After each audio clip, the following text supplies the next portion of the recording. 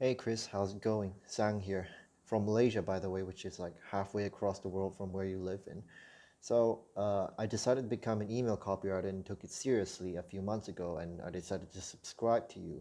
So I've also subscribed to every other people that you mentioned, and plus other people like Ben Settle and John McIntyre because I didn't want to be an asshole like what you said. So, but anyways, I decided to take it to the next level by signing up to your monthly newsletter so I could get better at email copywriting and marketing. So you could say it's an investment investment in myself. And plus you had a pay yourself first as a bonus along with the founder's code, which is a no-brainer in my book.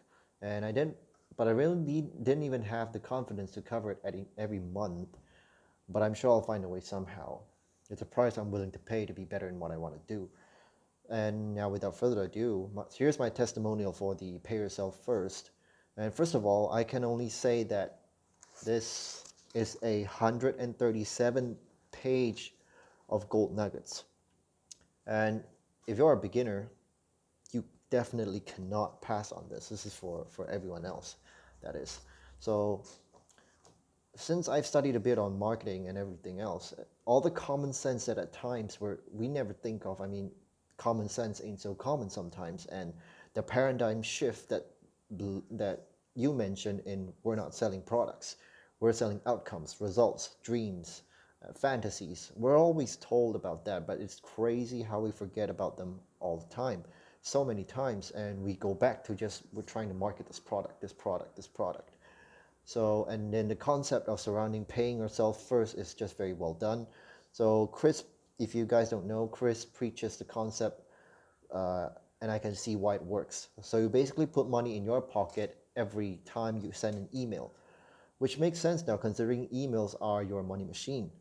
Even a sale for each email is still better than no sale at all. So, and at first, this course really didn't really didn't appeal to me because I thought he was just only gonna preach about the concept, which I wasn't.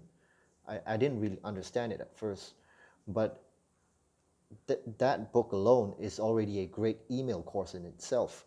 So there are plenty of examples, case studies, uh, real life experience from someone who's done it all, and the deep questions that shift your view on email marketing as well. Uh, now I know storytelling has been what Chris teaches, what what you teach, but there's always something with good email copywriters.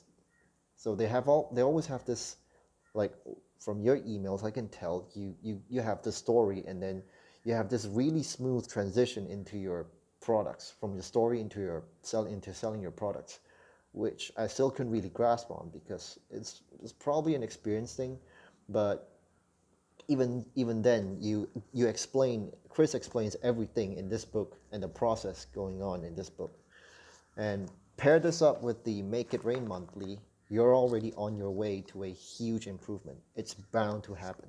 It's coming to you like a train. So all that's left is to take action on it. And it still comes down to taking action because like Chris can give you as many golden advice, knowledge, and knowledge, and it still wouldn't work out if you don't do it and test them out yourself. So I didn't really have client back then, but so this month I started working with a flower delivery service and one of the emails, uh, one of the first, very first emails I sent had like 10,000 opens on it. So they had like a 40,000 list. And in, in case you didn't know, the best they had for open rates were 5.5K, which is almost double that number. So it had that result because it was something they've never tried before, and surprises are good in marketing, which he explains as well. So I used it and I implemented it, and it get the and it got results. So and then the re-engagement email I did for them worked really well. Even if I even had some sales on it, I wasn't really expecting expecting that people who haven't been buying from them from a year ago they came back and they bought from them, which is which is really cool. So throughout all this process, I basically showed them where they're leaving money on the table in their email marketing. And I also tried out Chris, the system which Chris preaches a lot, which is pay yourself first by sending e- emails according to my own frequency, which worked really well so far. So this is all actually this is some of these knowledge I've actually learned from Chris even before getting the course and the newsletter. But I decided I want to be better, and there's just so much info in the course and newsletter that I know that will definitely help me get there. And so that's basically what I have to say about the course and the newsletter. So get it, guys. You won't regret it.